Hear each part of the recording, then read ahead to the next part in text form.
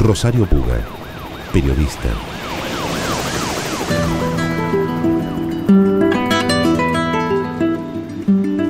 Otoño 1987.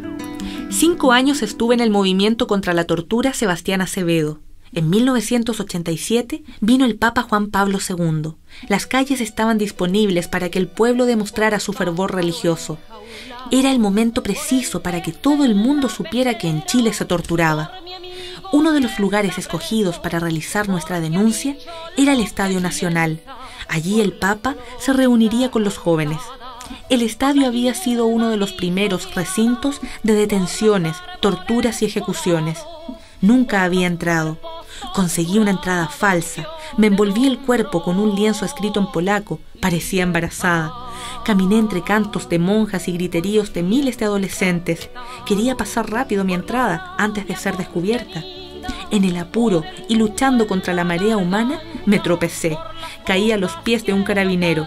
Este, urgido, me levantó y me escoltó hasta el interior del estadio. Una vez adentro, no me sentí aliviada. Por el contrario, la pena me desarmó por completo. Estaba lejos de esa multitud de pañuelos blancos y de esa diminuta figurita que se desplazaba como muñeco al centro de la cancha.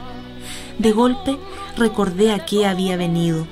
Me levanté el vestido y con la ayuda de mis compañeros desplegué el lienzo de ocho metros Corrimos hasta las rejas. El Papa leyó el mensaje. Hizo el signo de la cruz como señal de que nos había visto. Los guardias papales dieron aviso a las fuerzas policiales. Nos sacaron del estadio. Unos días después, en Punta Arenas, el Papa dijo en sus discursos, he leído sus inscripciones.